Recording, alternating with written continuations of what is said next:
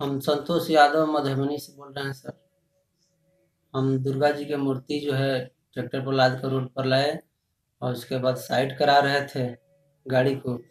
तब तक सिपाही जी दारू पी करके उधर से आए और आ करके हम, हमको जो है मोटरसाइकिल से धक्का मार दिए। धक्का मारने के बाद जो है हम गए उनके पास कि पूछने के लिए कि आप आदमी को देखकर गाड़ी चलाइए।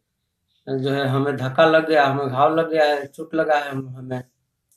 तब तक हमारा कॉलर पकड़ लिए और पकड़ कर मारने लगे। उसके बाद गाँव वाले लोग जो है छुड़ा रहे थे, नहीं छोड़ रहे थे वो। हाँ पूरा प्रयास करने के बाद वो छोड़े।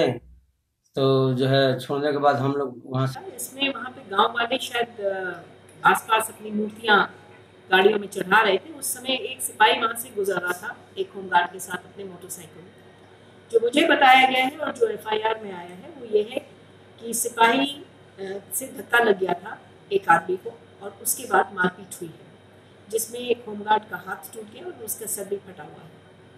इस संबंध में सिपाही की ओर से मुकदमा कायम है और उसमें गिरफ्तारी के प्रयास किए जा रहे हैं, कुछ लोग गिरफ़्तार भी किए जा चुके हैं।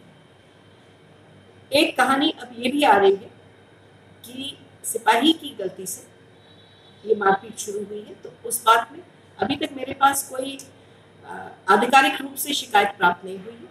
प्राप्त होती है तो उस पर निष्पक्ष जाँच होगी और यदि मेरा सिपाही दोषी पाया जाता है तो उसके विरुद्ध भी कार्रवाई होगी। जी, मैम साहब वीडियो में दिख रहा है कि सिपाही जी और उनके बीच में कुछ विवाद हो रहा है।